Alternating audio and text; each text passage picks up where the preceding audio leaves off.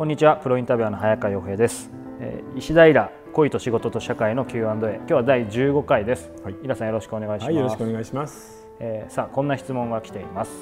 え妹が病気になりました。子供が2歳と3歳で2人います、はい、えー、大変な時期なので私も協力していますが私にも同じ小さい子がいるために正直しんどい毎日です。それは厳しいね。娘の旦那は冷たい人間でこのような状況で子供の面倒をえ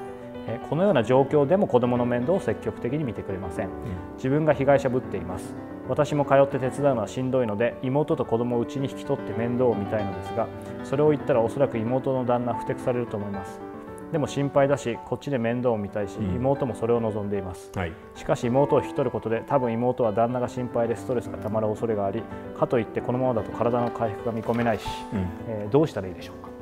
その病気がどういう病気なのかというのは一つ気になりますよね。そうですね。ちょっとこれだけで判断できないですが、えー、ただその全体の流れとしてはもう妹さんと子供を引き取るしか方法がないよね。うん。あの彼女自身も無理だからこれ以上その通いで面倒を見ることはできない、うん、あなたが全部できるんだったらいいけどそうじゃなかったら引き取りますって妹さんからで当人からも同じように言うしかないと思うね、うん、あとは何だったらそれができないんであればあの向こうの親だよね。旦那の親にちゃんと話を通して、うん、こういう事情なんで私としてはしんどいし、うん、今手を引くことはできないので彼に言ってくださいと、ちゃんと言った方がいいんじゃない、でもなんか子供だねこの男も。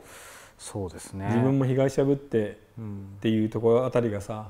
ちゃんとしてないよね全然。だって自分の奥さんなわけですからね、うん、で子供たちの面倒を見ないわけでしょ、うん、いやーなんかたかが知れてる男と結婚しちゃったなっていうでまあそんなパターンいっぱいあるもんね。実際には例えば難病系の病気で、ね、家族でみんなで力を合わせて戦うみたいな家は半分で残り半分は壊れちゃうんだよね。が、んだったら離婚だっていうような男いっぱいいるからね。現実問題。そう一人で死ねって言って離婚するようなやつって、まあ、この世界にはたくさんいるの。うん、なのであのその彼のこともまあしょうがないので、えー、ちゃんとその妹さんと子供たちの幸せを第一にこれから動くべきなんじゃないかな。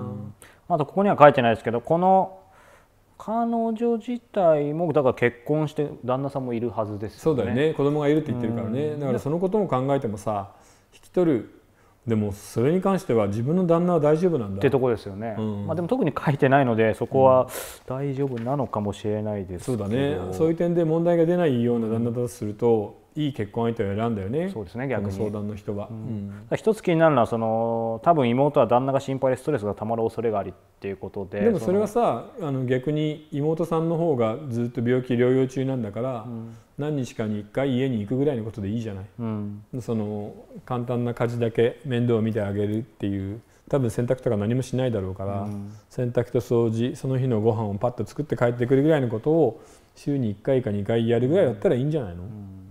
彼女が毎日行くのは無理だからね。そうですね、うん、でもその妹さんはやっぱりそこう冷たい旦那さんだけどそれでなんか別れるとかそういうのはここで見る限りは考えてないんでしょうね。いやでも離婚をしなくてもさ、とりあえず病気が治るまで、うん、あの子供たちと一緒に、うん、そのお姉さんのところで身を寄せるっていうことであれば別に離婚とかとは関係ないんで、そうですよね、うん、まあね子供もいるしそんな早まるあれもないでしょうし。そうね。子供二人ってしんどいよね、確かに。今の小さいし。そうか、ただこのパターンよくあるよね、うん、あのやっぱり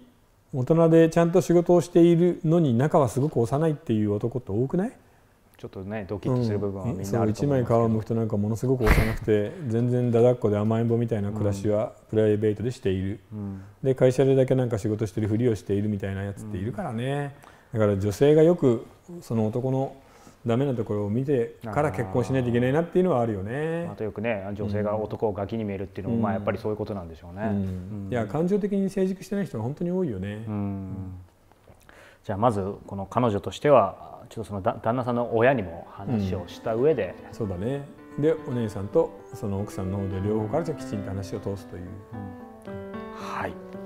ということで今日は第15回でした、えー、この番組への質問そして、えー、メールマガジン石平ブックトークの方でも質問を募集しています。こちらのメールマガ初月無料ですのでぜひチェックしてみてください。石平公式サイトの方からよろしくお願いします、はい、ということで今日は第15回でした。イラさんありがとうございました、はい、ありがとうございました